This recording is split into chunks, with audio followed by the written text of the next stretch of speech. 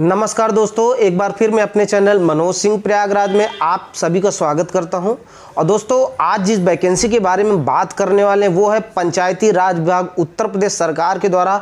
आज अगर जिस वैकेंसी के बारे में बात करने वाले हो, ग्राम पंचायत यानी कि गाँव से जुड़ी वैकेंसी है, प्रत्येक गाँव से 25 पोस्ट यहाँ पे निकाली गई है।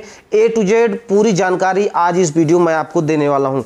उत्तर प्रदेश सरकार के द्वारा यहाँ पे आर्किटेक्ट कंसल्ट की जो है कंसल्टेंट की वैकेंसी का नोटिफिकेशन दोस्तों जारी किया गया है। तो इन वैकेंसी के बारे में आज डिटेल से बात करेंगे, क्या योग्यता है, कैसे सिलेक्शन होगा। सिलेक्शन इसमें ओनली मेरिट बेस पे मैं आपको बता दे रहा हूँ, यहाँ पे कोई एग्ज़ाम दोस्तों होने वाला नहीं है। एलिजिबिलिटी क्या योग्यता क्या ये आपको देखना पड़ेगा। कहाँ से आप अप्लाई करना चाहते हो, वो वैकेंसी देख लीजिएगा, उसके बाद आप अप्लाई कर सकते हैं। तो ओनली ओनली मेरिट बेस पे कोई भी एग्ज़ाम यहाँ पे दोस्तों नहीं होने वाला है। तो दोस्तों, आइए इस वैकेंसी के बारे में मैं आपको डिटेल से दिखाने वाला हूँ। अगर आप हमारे चैनल पर नए हैं दोस्तों तो चैनल को सब्सक्राइब कर लीजिए, बेल की घंटी को ऑन कर लीजिए, क्योंकि हम आपके लिए ऐसी अथेंटिक और सही जानकारी सबसे पहले लेके उपस्थित होते हैं। आइए दोस्तों, अब शुरू करते हैं। तो दोस्तों, सबसे पहले आपको अपने फ़ोन में गूगल ओपन कर लेना। गूगल ओपन करने के बाद आपको टाइप करना P R D finance dot U P dot G O V dot in slash ये टाइप कर लेना है। टाइप करने के बाद आपको सीधा इंटर पे क्लिक कर देना है। जैसे दोस्तों, यहाँ पे इंटर पे हम क्लिक करेंगे। जो ऑफिशियल वेबसाइट है, वहाँ पे हम इंटर करने वाले हैं दोस्तों। थोड़ा सा वेट करेंगे। इस तरह से दोस्तों, हम जो पंचायती राज विभाग उत्तर प्रदेश की जो ऑफिशियल वेबसाइट है, वहाँ पे दोस्तों, हम दोस्तों, इस समय हम इंटर कर चुके हैं। यहाँ पे देख पा रहे हैं सीधा सीधा आप Swachh Bharat mission Grameen phase second के अंतर्गत चिन्हित ग्रामों को ओडीएफ करने के संबंध में तो यहाँ पे ही वैकेंसी का जो नोटिफिकेशन अभी आपको देखने को मिल जाएगा। तो चलिए दोस्तों थोड़ा सा नीचे चलते हैं, नीचे में देखते हैं। यहाँ पे देखिए आपको किस किस जगह होना है काम, यहाँ पे ग्रामों की सूची भी दोस्तों आपको मिलने वाली है। तो चलिए हम थोड़ा नीचे की तरफ़ ड्रैग करेंगे और ड्रैग करने के बाद थोड़ा नीचे आएँगे। और यहाँ पर मैं आपको वैकेंसी का डिटेल दिखाने वाला हूँ। कि आपको कहाँ से जो है वैकेंसी जो ऑफलाइन है, उसको ऑनलाइन सॉरी है, उसको कहाँ से बनना है, यहाँ पे आप देख पा रहे हैं, ये आर्टिटेक्ट वाले ऑप्शन पे हम क्लिक कर देंगे। जो आप देख रहे हैं, ऊपर साइड चल रही इसी साइड पे आपको दोस्तों क्या करना है क्लिक कर देना है। थोड़ा इसको हम डेस्कटॉप साइट पे ओपन कर लेते हैं। तो हमने इसको डेस्कटॉप साइट पे दोस्तों ओपन कर दी। यहाँ पे आप देख पा रहे हैं, ये देखिए, आठ सौ पचहत्तर आर्टिटेक्ट काउंसले काउंसलेटिंग इंजीनियर सिविल। तो यहाँ पे ये भर्ती दोस्तों निकाली गई है और थोड़ा सा वेट करेंगे, इस पर क्या करेंगे हम? क्लिक करके अभी आपको जो नोटिफिकेशन वो डाउनलोड करके मैं दिखाने वाला हूँ। थोड़ा सा वेट करेंगे दोस्तों और इस पर क्लिक किया हमने। जैसे इस पर दोस्तों हमने क्लिक किया, देखिए वित्त आयोग फाइनेंस का एक और साइड ओपन हो गया है। साइड ओपन होने के बाद नीचे की तरफ़ आएँगे, यहाँ पर आप देख रहे हैं। यहाँ पे आप देखिए सीधा सीधा दिया हुआ आठ सौ पचहत्तर architect consulting engineering civil notice for आठ सौ पचहत्तर आर्किटेक्ट काउंसलेटिंग इंजीनियर सिविल। तो यहाँ पे आप एडवर्टीजमेंट दोस्तों देख सकते हैं, यहाँ से फॉर्म को अप्लाई कर सकते हैं आराम से। फॉर्म आपका जो फिलिंग है वो एक जून से स्टार्ट है। लास्ट डेट आपकी पंद्रह जून दोस्तों यहाँ पे आपकी रखी गई है। तो चलिए हम क्या करते हैं, यहाँ पे जो इसका नोटिफिकेशन, उसको क्या करते हैं, डाउनलोड कर लेते हैं।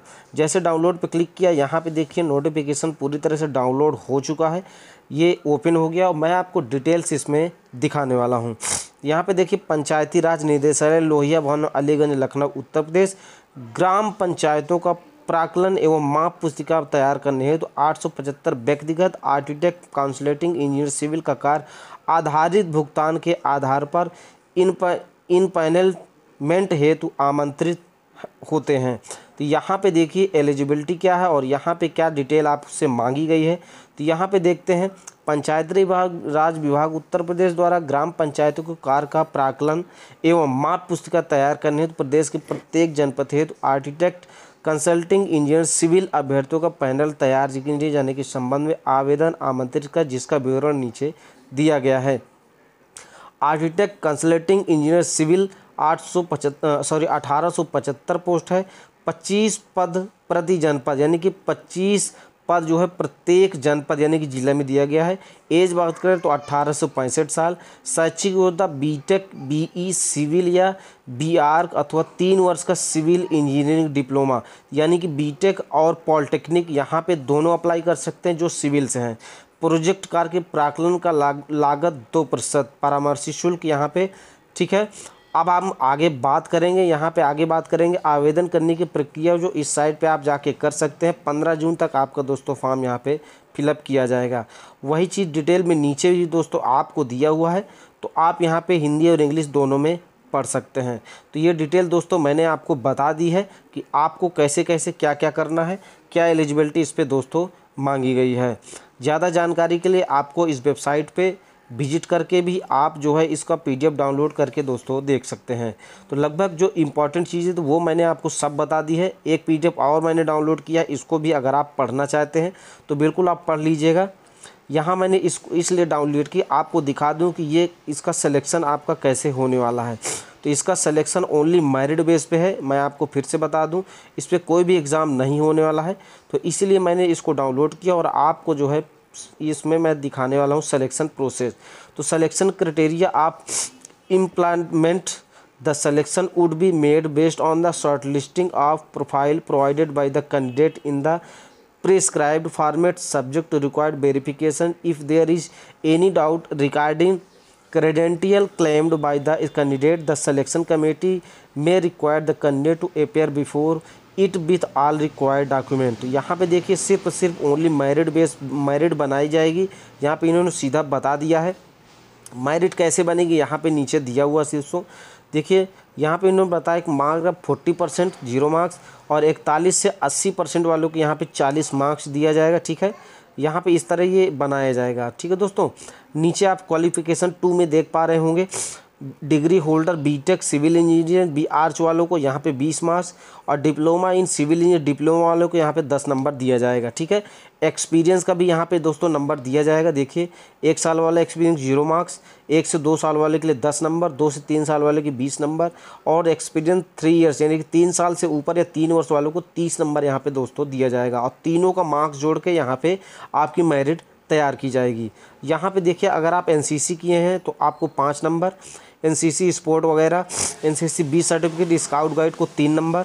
और यहाँ पे अगर आपने O level NIELIT computer course notification ये आपने ओ लेवल कर रखा है तो यहाँ पे आपको पाँच नंबर ओ लेवल के भी दोस्तों दिया जाएगा। टोटल सौ नंबर का है, इसमें आपकी मेरिट तैयार की जाएगी, जिसका बेहतर नंबर होगा तो वो उसका सिलेक्शन दोस्तों यहाँ पे हो जाएगा। तो दोस्तों मैंने सारी जानकारी आपको दे दी है जितनी भी जानकारी थी सब मैंने आपको बता दी है। अगर वीडियो दोस्तों अच्छा लगा तो वीडियो को लाइक करें, चैनल को सब्सक्राइब करें ताकि जो भी नोटिफिकेशन जो भी जॉब गवर्नमेंट की तरफ़ से जारी किया जाए, वो आप मिस ना करें। अब इस वीडियो को दोस्तों यहीं समाप्त करेंगे।